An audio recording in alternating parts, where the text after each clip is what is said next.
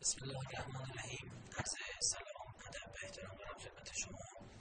بینندگان محترم عزیز شبکه نسلی از اینکه در خدمتتون هستم خدا رو شاکرم و خوشحال خب با ادامه برنامه هم در خدمت شما هستیم. اگر خاطرتون باشه در جلسات قبلی ما نشانه های وجود حضرت محمد رو در عهد عتیق در تورات بررسی و کتاب های دیگه مثل اشیای نبی بررسی کردیم. در مزامیر این جلسه ادامه میدیم و آرام آرام بحث می‌رود به سمت کتاب کتب عهد جدید یا اناجیل خب اگر اجازه بدید من اشاره بکنم به کتاب پیدایش باب 49 آیه 18 تا 23 که وعده آمدن فرد را داده است.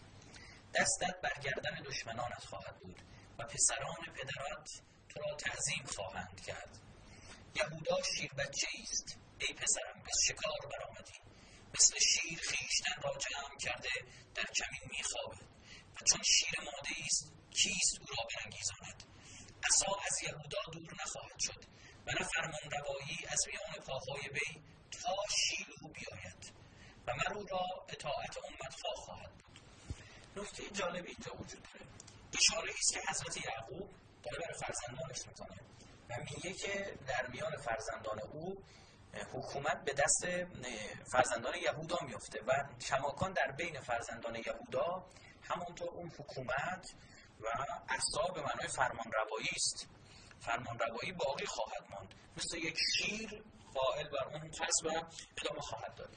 خوب بدونید شیر ایستاده از نشانه های سبت یهوداست که یهودی ها خیلی علاقه دارن. با ما مثلا این نشانه در شرکت پژو شما می‌تونید ببینید که یک شیر ایستاده است در نمادشناسی ایرانیان هم نکته عجیبی وجود دارد. یک مرد پارسی رو شما می‌بینید که در حال زدن خنجری در شکم شیر ایستاده است. این هم در نوع خودش جالب و شایان توجهه. حالا میگذریم از این بحث سیمبولوژی و نمادشناسی. خب خداوند متعال در کتاب تورات کتاب پیدایش باب 49 یک پیش بینی رو مطرح کرده که این حکومت در دست فرزندان یهودا خواهد بود و دقیقا هم همین شد. یعنی چه حضرت داوود و چه حضرت سلیمان هر دو از اسبات به قول از سبت یهودا بودند و از فرزندان یهودا بودند آخرین قدرت یعنی آخر دومین حکومت پادشاهی بعد از حضرت سلیمان عملا دیگه از دست اینها رفت و دیگه نماند. وعده اینجا بود که تا شیلو بیاید. یعنی شرط این که این حکومت گرفته بشه آمدن فردی است به نام شیلو که اگر او بیاد و مر او را اطاعت امتها خواهد بود. همه امتها از او اطاعت خواهند کرد. خب این فرد هیچ با تحقق پیدا نکرده تا الان. یعنی اگر بگیم شیلو, شیلو ایساست قبول بکنیم او جیزس کرایسته اما هیچ وقت اینطور نیست. حتی امت خود مسیح هم از او حمایت نکردن و او رو به صلیب کشیدن. چه برسه که همه رو همه امت ها از او اطاعت کنند این فرد چیز که تمام امت ها او را اطاعت خواهند کرد؟ و دقت بفرمایید از سبت یهودا نیست. چرا؟ چون میگه آمدن شیلو یعنی کات شدن از سبت یهودا. و دیگه سبت یهودا به قدرت نمی‌رسن. این فرد خیلی باید مهم باشه.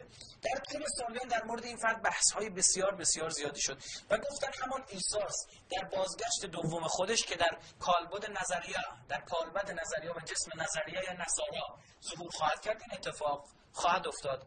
اما ما می‌دونیم خب بیاید حضرت عیسی اما او از نسل یهوداست فرد دیگری مد نظره که از نسل یهودا نیست. این شیلو چه کسی می‌تواند باشد؟ که از این جهت می‌تواند با محمد دوم که همان امام دوازده هست و در مسلمان ها به او اعتقاد دارند که می‌گویند نام او همان نام پیامبر است. دوازدهمین امامی که در کتاب پیدایش باب 17 اشاره شد همخانی دارد و می‌تواند اون فرد باشه. و یا برخی گفتن این شیلو می‌تواند خود حضرت محمد پیامبر باشه. اما تمام امت ها هم از پیامبر تبعیت نکردند. فقط قوم هایی که در نزدیکی خودشون بودن از اون اطاعت کردن.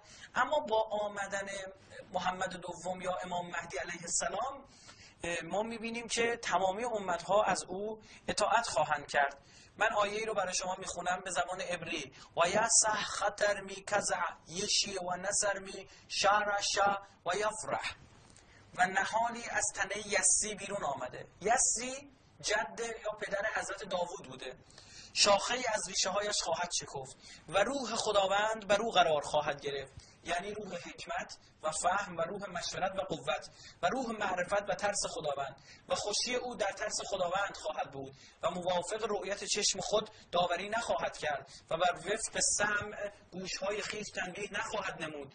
بلکه مسکینان را به عدالت داوری خواهد کرد و به جهت مظلومان زمین را به راستی حکم خواهد نمود و جهان را به عصای خیش زده شریران را به نفحه لبهای خود خواهد کشت و کمربند کمرش عدالت خواهد بود و کمربند میانش امانت و گرگ با بره سکونت خواهد کرد و پلنگ با بزغاله خواهد پاخابید و گوساله و شیر و پرواری با هم و طفل کوچک آنها را خواهد راند و گاو با خرس خواهد شرید و بچه های آنها با هم خواهند خوابید و شیر مثل گاو کاه خواهد خورد و طفل شیرخواره در سوراخ مار بازی خواهد کرد. و طفل از شیر بازداشته شده دست خود را بر خانه افعی خواهد گذاشت و در تمامی کوه مقدس من ضرر نخواهند کرد زیرا که جهان از معرفت خدا پر خواهد بود. مثل آبهایی که دریا را می پوشاند و در آن روز واقع خواهد شد که ریشه یسی به جهت علم قومها به پا خواهد شد و امتها آن را خواهند طلبید و سلامتی او با جلال خواهد بود. این به چه فردی داره اشاره می‌کنه؟ کسی که از نسل داووده خب خیلی از مسیحیان گفتن این یعنی عیسی علیه السلام. خیلی شباهت بسیار زیادی هم داره. برعکس خود من هم قائل بر این هستم که این فرد می‌تونه حضرت عیسی باشه. اما کی در دوران عیسی گرگ و بره در کنار هم بودن؟ کی بچه در کنار افعی بازی کرده؟ گفتن این هنگام بازگشت مجدد عیسی است. خوبه بدانید. آن مذهبی که گفتم در میان مسلمانان هستند و به حضرت محمد و آن دوازده امام وعده داده شده ایمان دارن قائل بر این هستند محمد دوم یا امام مهدی همراه با عیسی می آید و نکته عجیب تر بدانید هم حضرت عیسی و هم حضرت مهدی یا محمد دوم از طرف مادر از نسل داوودند. یعنی اگر از طرف مادر حساب است این شامل امام مهدی هم خواهد شد. هیچ فرقی ندارد.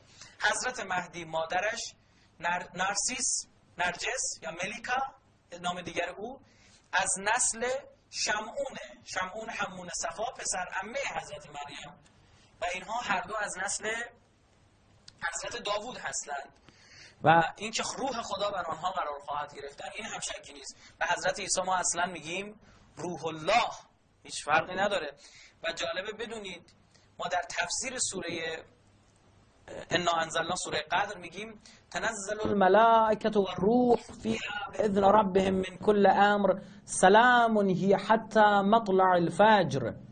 سلام بر او تا آن طلوع فجر. و این طلوع فجر یعنی ظهور امام مهدی یا همان محمد دوم که وعده داده شده که خواهد آمد. و در آن زمان در آخر الزمان همه جا صلح و صفا. خواهد بود. باز هم می‌بینیم یک اشاراتی به دین اسلام و امام دوازدهی که در این دین خواهد بود. ما اشاراتی داریم. در کتاب سفنیای نبی آیات 6 تا 9 هم اشاراتی داریم. به جهت جمع کردن همه قوم ها بر شریعت خود همه پادشاهان را برطرف کنم. به ریختن غضب خود بر ایشان و گرمی خشم من بسوزد همه زمین را. تکه ابریش این میشه. کی از احفخ العمیم سنه برور لقرع کلم لشم ادنای ادنای لعابد و شخم احد. آن وقت برمیگردانم به قومها لب پاکیزه را. برای خواندن همه ایشان به نام خداوند و عبادت کردن ایشان به یک روش. خدا اشاره می‌کنه خداوند متعال که فردی است که با لبهای پاکیزه همه مردم را به سمت خدا می‌خواند و به یک دین خوبه بدانید که در قرآن آیه این, هم این رو هم سه مرتبه داریم. لیظهره دینه علی الدین کله ولو کره المشرکون. خداوند می‌خواهد که دینش را بر تمام ادیان برتری دهد. هرچند مشرکین این رو دوست نداشته باشند. که اینجا هم باز اشاره بسیار عجیب شده به محمد دوم یا امام مهدی همان امام دوازدهمی که تورات وعده اون رو داده بود. نکته دیگری رو من عرض بکنم خدمت شما این که اون فردی که خواهد آمد که نامش محمد خواهد بود اینجا بر دو فرد هم خانی دارد. یک می‌دانید ما در بعد از حضرت محمد کلا سه محمد داریم. یک پروفت محمد. دو امام باقر امام پنجم از آن دوازده امام و امام دوازده از آن دوازده امام که هر سه نام محمد دارند. که امام علی فرمود که کلنا محمد همه امام محمدیم. اولنا محمد اولین امام محمد است. و آخرنا محمد آخرین امام محمده. و اوسطنا محمد وسطی امام محمده. جالبه در چهارده معصوم وقتی شما حساب می‌کنید معصوم اول محمد است. معصوم آخر امام مهدی هم نام پیامبر محمد است. و معصوم وسط تو چهارده معصوم میشه امام باقر. امام پنجم میشه معصوم هفتم. و او باز هم محمد است. حالا بریم ببینیم که این محمد آیا در انجیل هم پیش بینی شده بود؟ همونطور که دیدید هر دو محمد یعنی محمد اول و محمد آخر یعنی پیامبر اسلام صلوات الله علیه و آله و سلم و همچنین امام مهدی عجل الله تعالی فرجه الشریف که هر دو هم نام هم هستند محمد نام دارند در تورات پیش بینی شده در عهد عتیق پیش بینی شده بودن. ببینیم در عهد جدید چه اتفاقی خواهد افتاد. این رو انشالله بعدی می‌دهیم در برنامه بعدی با هم بررسی خواهیم کرد. شما رو به خدای بزرگ میسپارم.